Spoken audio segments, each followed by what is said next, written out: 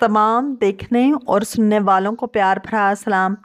मस्जिदुल हराम के बाद दुनिया की सबसे अहम मस्जिद मस्जिद नबवी सल्लल्लाहु अलैहि वसल्लम की तामीर का आगाज़। 18 रबी अव्वल सन एक हिजरी को हुआ। हजूर अक्रम सल्लल्लाहु अलैहि वसल्लम ने मदीना हिजरत के फ़ौर बाद उस मस्जिद की तामीर का हुक्म दिया और ख़ुद भी इसकी तामीर में भरपूर शिरकत की। मस्जिद नबवी अलैहि वसल्लम जिस जगह कायम की गई, वो दरअसल दो यतीम बच्चों की ज़मीन थी।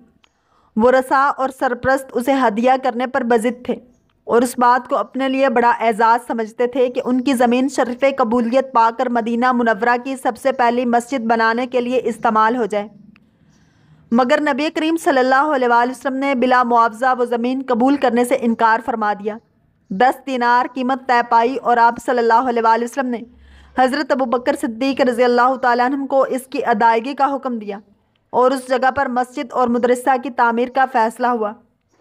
पत्थरों को गारे के साथ चुन दिया गया। खजूर की टहनियाँ और तने छत के लिए इस्तेमाल हुए। और इस तरह सादगी और वक़ार के साथ मस्जिद का काम मुकम्मल हुआ। मस्जिद से मुतसिल एक चबूतरा बनाया गया, जो ऐसे अफराद के लिए दारुल अकामा था जो दूर दराज से आए थे, और मदीना मुनवरा में उनका अपना घर न था।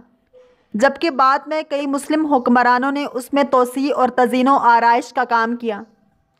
अलमवाहबुल मदीना में है, जब आप सल्लल्लाहु अलैहि वसल्लम ने मस्जिद शरीफ बनाने का इरादा फरमाया तो फरमाया, ए बनु नज्जार, अपने बाग की कीमत मुझे बताओ। तो उन्होंने अर्ज़ किया, हम इसकी कीमत सिर्फ़ अल्लाह से वसूल करेंगे। आप सल्लल्लाहु अलैहि वसल्लम ने इनकार फरमाया और मस्जिद की ज़मीन दस दिनार के बदले ख़रीदी। जो हज़रत अबू बकर सिद्दीक रज़ी अल्लाह तु के माल से अदा की गई। हज़रत अबू बकर सिद्दीक रज़ी अल्लाह तु मक्का मुकरमा से अपना तमाम माल साथ लाए थे। हज़रत अनस रज़ी अल्लाह तु फरमाते हैं, मस्जिद की जगह पर खजूर के दरख्त, बंजर ज़मीन और मुशरकिन की कब्रें थीं। आप सल्लल्लाहु अलैहि वसल्लम के हुक्म से कब्रों को उखाड़ा गया। वीरान जगह को बराबर किया गया और दरख्त काट दिए गए। फिर आप सल्लल्लाहु अलैहि वसल्लम ने ईंटें बनाने का हुक्म दिया तो वो बनाई गईं। और मस्जिद तामीर करके खजूर की शाखों से छत डाल दी गई, जबकि सुतून खजूर की लकड़ी से बनाए गए। सबसे पहले नबी करीम सल्लल्लाहु अलैहि वसल्लम ने मस्जिद नबी सल्लल्लाहु वसल्लम की तोसी फरमाई और मस्जिद का रकबा 1050 मुरबा मीटर से बढ़ाकर 2500 मुरबा मीटर कर दिया गया, जबकि बाद में कई मुस्लिम हुक्मरानों ने इसमें तोसी और तजीनो आरइश का काम किया। हज़रत उमर फ़ारूक रज़ी अल्लाह तु के दौर खिलाफत में मस्जिद नबवी अलैहि वसल्लम की तोसी का काम किया गया और इस मकसद के लिए करीबी घरों को ख़रीद लिया गया। उन्हीं घरों में एक घर हज़रत अब्बास रज़ी अल्लाह तु का मकान था। हज़रत उमर रज़ी अल्लाह तु ने जब उनसे मस्जिद की तोसी के लिए घर मांगा तो उन्होंने साफ़ इनकार कर दिया, जिसके नतीजे में मंदरजा झैल मशहूर वाक़ रनुमा हुआ। हज़रत उमर फ़ारूक रज़ी तु ने जब मस्जिद नबी अलैहि वसल्लम की तोसी का इरादा फरमाया तो आस पास के बाज़ मकानात ख़रीद लिए।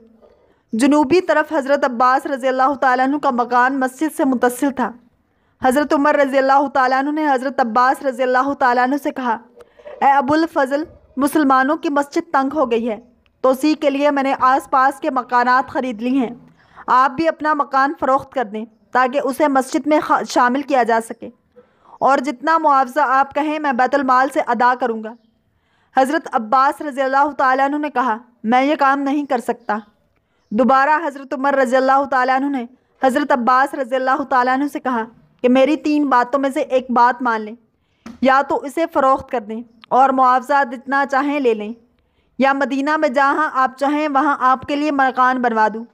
या फिर मुसलमानों की नफ़ा रसानी और मस्जिद की तोसी के लिए वक्फ़ कर दें।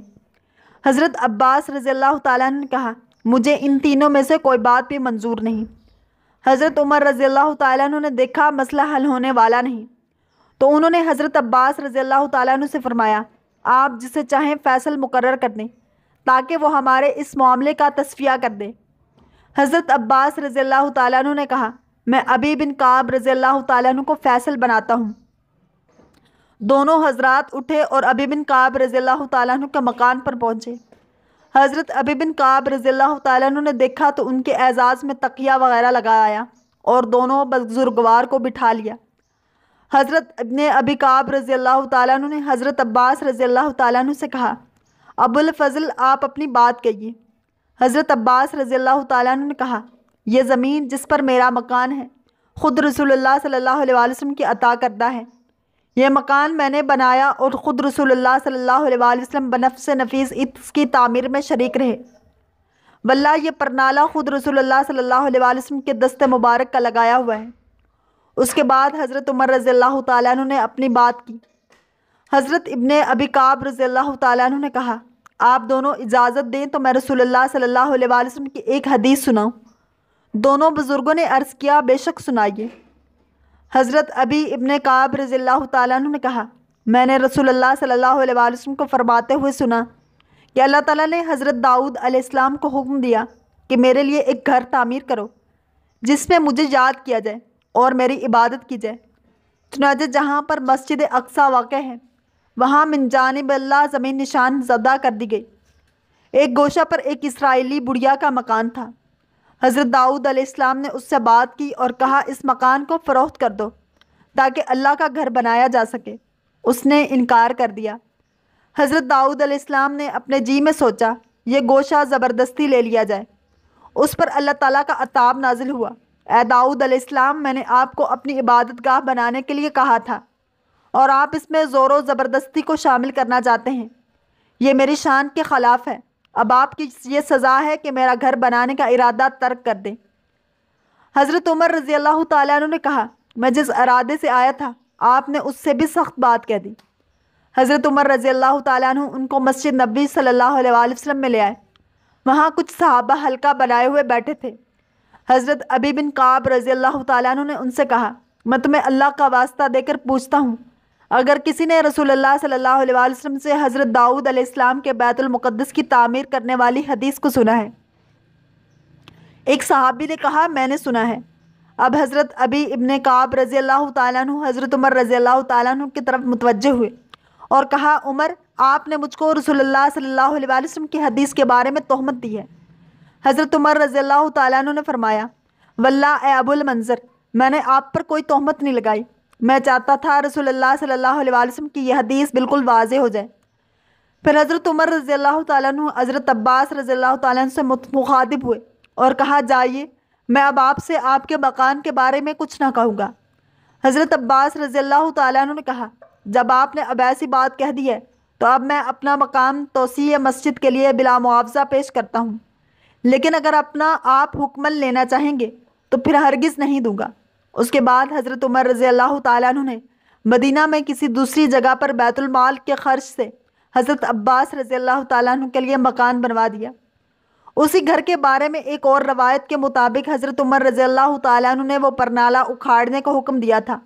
तो हज़रत अब्बास रज़ी अल्लाह तु ने कहा यह परनाला ख़ुद सल्लल्लाहु अलैहि वसल्लम ने अपने हाथों से लगाया था। ये बात सुनकर हज़रत उमर रज़ी अल्लाह तु ने कहा तो आप मेरी पीठ पर सवार होकर ये परनाला वहीं लगा दीजिए, जहाँ आप सरकार दो आलम सल्लल्लाहु अलैहि वसल्लम ने लगाया था। मुमकिन है वो वाक़ इससे पहले का हो